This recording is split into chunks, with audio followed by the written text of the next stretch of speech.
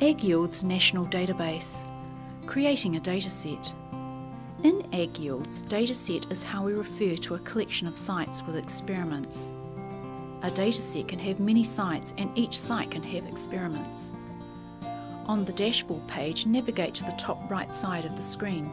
Click on the yellow button, Create a dataset.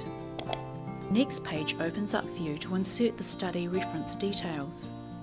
Note that the fields signalled with a star are mandatory, like title and author. Click on the Publish circle if you are entering data from a journal publication. Click Unpublished if the data is not published in a journal. This example shows how to create a published dataset. Start by writing the title of the publication. Notice that the system can detect if a similar title is already on the dashboard list to avoid repeated entries. Next, enter the author's name as indicated. And then type the journal's name.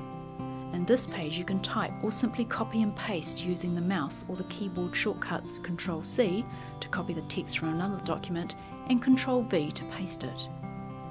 Continue to fill all the other fields if you have the information available like publication year, journal volume and the page numbers.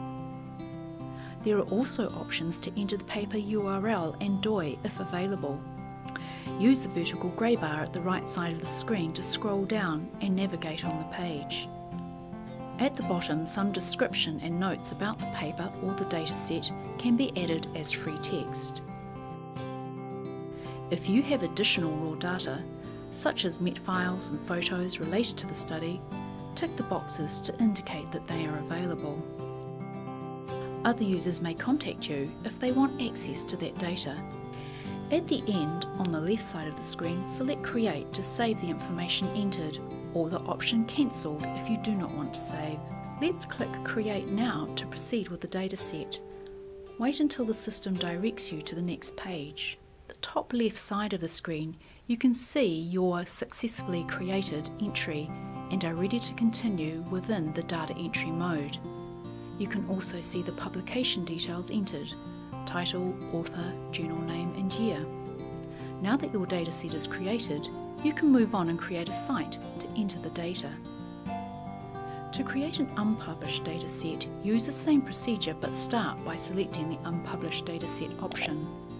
In this case, fewer details are required, only title, authors and description notes. If you have additional raw data, such as MET files and photos related to the study, tick the boxes to indicate that they are available. Click Create Now. You will not be able to submit your entry at this point. To submit, you are required to complete the Create a Site and Create an Experiment steps. Anytime you want to continue entering the data, just click on the title of the dataset to open up the data entry mode again. Remember, you can always check the help guide for more details.